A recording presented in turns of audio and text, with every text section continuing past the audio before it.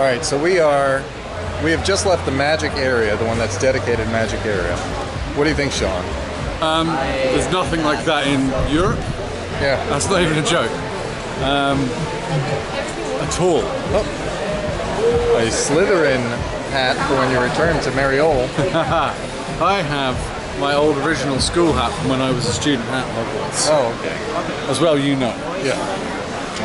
Oh man, action figures. I wonder if I can get some sweet Evangelion stuff. Y- The answer is yes. And the question is, Unfortunately, there's no filming around here without uh, management permission. oh, really? Where's management? Uh, it's